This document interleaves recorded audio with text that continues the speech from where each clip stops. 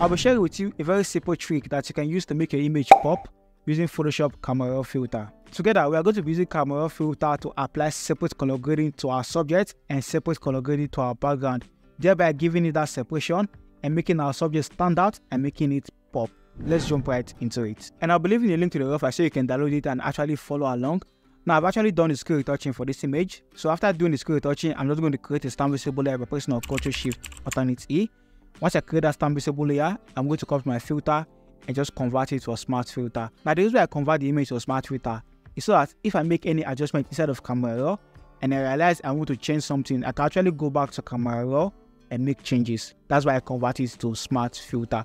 Alright, now next thing we are going to do, just come back to your filter and just click on Camera filter right here. Once this image opens inside of Camera first let's work on the background. So just come to your masking right here and select your background right here.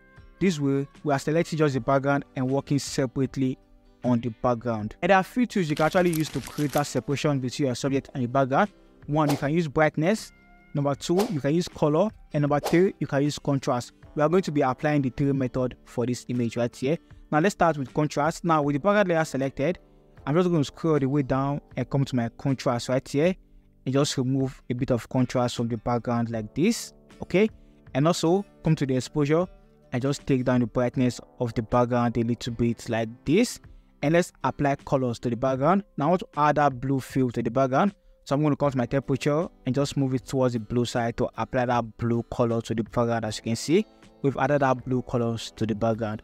Alright, now let's work on the subject. To work on the subject, I'm going to come back to my overall adjustment right here. Now let's first of all fix the white balance of this image. You can see the gray tint of the subject. I don't really don't like it. So just pick on this eyedropper tool right here and just select any neutral color on your image.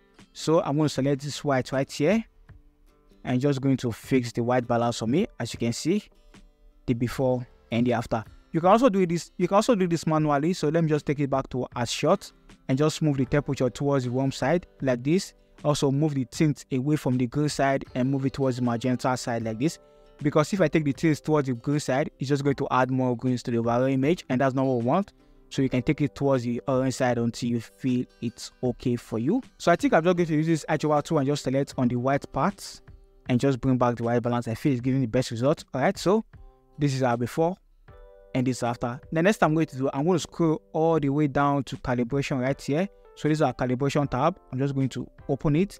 Just come to the blue primary and just move the blue primary towards the dark part like this. Okay, so I think it's too much now. I'm going to take it all the way down like this. Like this works for me. Uh, 15 works for me. Now this is the before and this is after. The next thing I'm going to do, I'll come back to my masking again. And this time, I'm just going to select the subject. Alright. So I'll come to create mask and click on select subject. Now once my subject is selected, now to make the subject pop, I'm just going to cut my exposure right here and just add a little bit of exposure to make it pop and just take down the highlights a little bit like so. Take the exposure up a little bit more like this. Okay, now this works for me. So this is our before and this is after.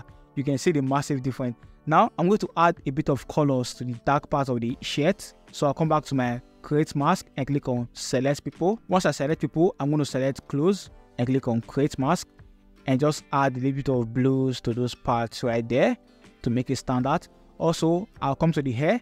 I'm just going to select people and click on select people again and click on hair right here. Now with the hair selected, I'm going to click on create.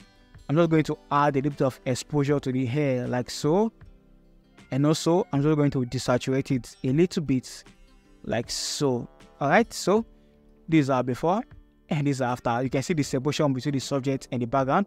Now I feel the background now I've seen that um, magenta feel on the background. I really don't like it. So I'll come back to the background selection right here and just add more blues to the background. Just like that. That this works for me to add that complementary colors to the background and the subject. So you can see the subject is orange and the background is blue. It just work better like that. So it works well for me and I can just choose to reduce the exposure even more like so. And uh, maybe reduce some part of the blues. I feel it's too much now okay? And this works for me now the before and the after. If you feel okay just click on OK right here.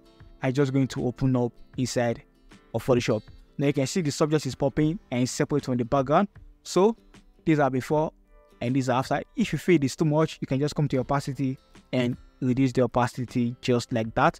So this is how you can actually make your image pop using color grading instead of Adobe Camera Raw. I made a detailed video explaining how I retouch this image right here. Click here to watch that video. I'll see you guys in my next one. Stay creative.